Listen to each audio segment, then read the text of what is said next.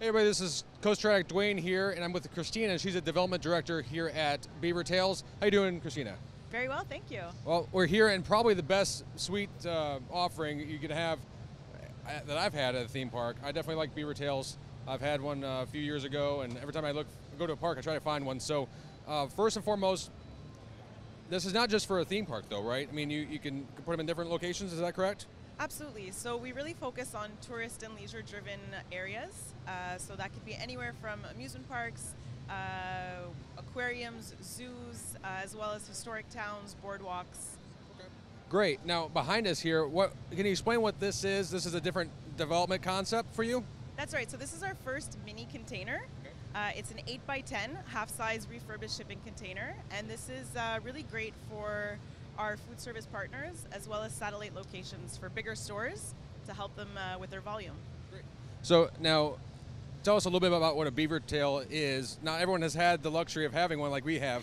what, what exactly is a beaver tail, and what might it be similar to? Maybe the, someone can understand. So we're actually quite unique. We're the only branded uh, fried pastry.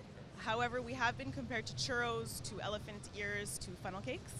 Um, and a beaver tail is a cracked wheat pastry that's hand stretched to resemble the shape of a beaver's tail and then float cooked in canola oil. And then you have lots of different options people can pick from. You have different toppings. So we have nine different toppings, uh, as well as other products too. We have our signature beverages, we have fries, poutine, beaver dogs, as well as our Muzu uh, line, which is all of our ice cream and frozen yogurt and gelato.